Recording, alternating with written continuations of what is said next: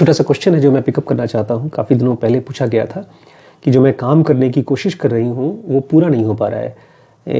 तो बार बार मैं रिपीट करती हूँ अपने एक्टिविटीज़ को, उस एक कोई क्वेश्चन पेपर बनाना है टीचर्स की ट्रेनिंग के लिए कोर्स तैयार करना है। मैं बनाती हूँ, फिर उसको रीराइट करती हूँ, फिर बनाती हूँ, फिर रीराइट करती हूँ, लेकिन कंप्लीट नहीं कर पा रहे हैं। अगर इस तरह की प्रॉब्लम आपके साथ आ रही है तो इसका मतलब ये है कि आप एक ख़ास तरह की साइकोलॉजिकल विशियस सर्कल से जूझ रही हैं और इसका नाम है परफेक्शनिज्म या तो मैक्सिमाइजेशन इसको थोड़ा समझिए। जब भी हम किसी काम को करते हैं और उसको दोबारा दोबारा चेक करते हैं, इसका मतलब ये है कि हम एक परफेक्शन के लूप में चले गए हैं। एक आइडिया है हमारे दिमाग में कि हम बहुत अच्छा काम करना चाहते हैं। लेकिन आप समझिए कि जो भी आप काम करना चाहती हैं, जो आपकी एवरेज इंटेलिजेंस है, उसी में से ही निकल के आता है। आप कितना भी अच्छा काम कर लेंगे, एक एवरेज के जो आपकी इंटेलिजेंस है, उससे बेहतर नहीं कर सकते। इसलिए मैं अक्सर कहता हूँ कि अपना बेस्ट मत करो। अपना वर्स्ट करो। ये ये इम्पॉसिबल है, कोई भी आदमी, आप थोड़ा जाके कोशिश करिए, जितनी भी खराब से खराब चाय बना सकते हैं। आपको जितना, एक, अगर आप चाय बनाने जाएँगे तो जो आपको नॉर्मल आती है, वही बनाएँगे। बहुत अच्छी भी कोशिश करेंगे तो भी आप वैसा ही बना पाएँगे जो आप नॉर्मल बनाते हैं। अगर बहुत ख़राब भी कोशिश करेंगे तो आप ख़राब नहीं बना पाएँगे, क्योंकि वो एवरेज आपका है ही।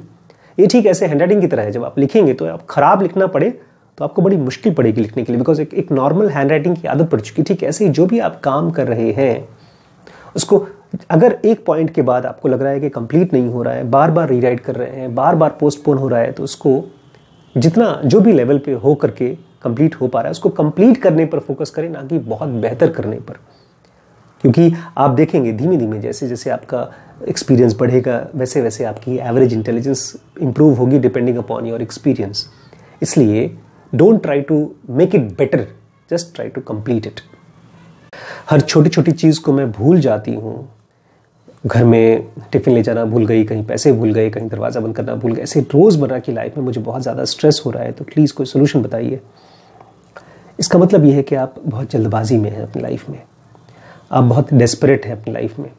रिज़ल्ट लाने की कोशिश कर रहे हैं। अगर चीज़ें भूल रहे हैं तो इसका तो बहुत ही सिंपल इलाज है। स्लो करिए काम। एक बुद्धिस्ट कहावत है, बुद्धा एक कहावत कहते थे, अगर किसी चीज़ को बहुत जल्दी करना है तो धीमे धीमे करो। बुद्ध धीमे धीमे चलते थे। तेज चलने से आपकी अवेयरनेस कम हो जाती है।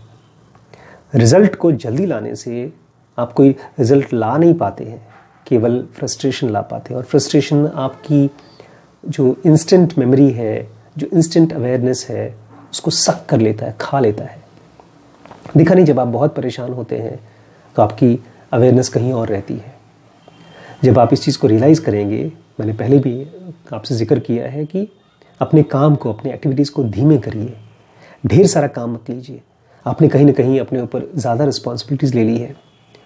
रिस्पॉन्सिबिलिटीज़ को लिखिए और उसमें से जो सबसे इंपॉर्टेंट एक या दो काम है, उसको पिकअप करिए, उसको कंप्लीट करिए और अपने आप को रेस्ट दीजिए। आपके माइंड को रेस्ट चाहिए और थोड़ा स्लो करने की कोशिश करिए अपने काम को।